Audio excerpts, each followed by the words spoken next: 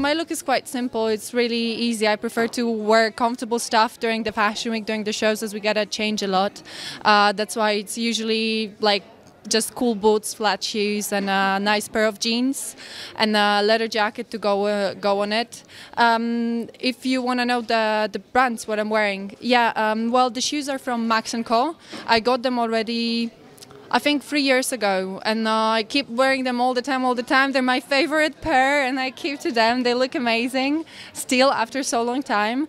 And uh, then the jeans, they're from uh, Nicolas Andrea Tarali, the one of the French desi- designers. Um, the shirt, uh, the blouse I got from Sandro last season, and uh, the jackets from AllSaints, and the Mark uh, Marc Jacobs bag.